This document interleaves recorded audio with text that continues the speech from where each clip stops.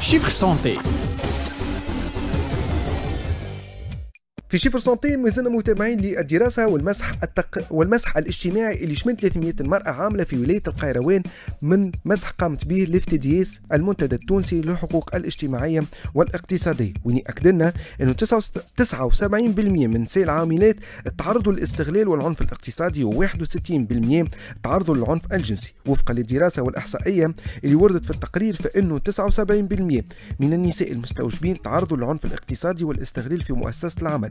وذلك من خلال الممارسة الاقتصادية والمالية التي تطال الأجر ووسائل العمل الإنتاجية والتغطية الاجتماعية ووسائل التنقل في حين بينت الإحصائية من المسح الاجتماعي بأنه 69% من المستوجبين في القطاع الفلاحي دون التغطية الاجتماعية لأن أعمالهم موسمية حسب المشغل وبالتالي يرفض الفلاح المؤجر إدماجهم في صندوق الضمان الاجتماعي.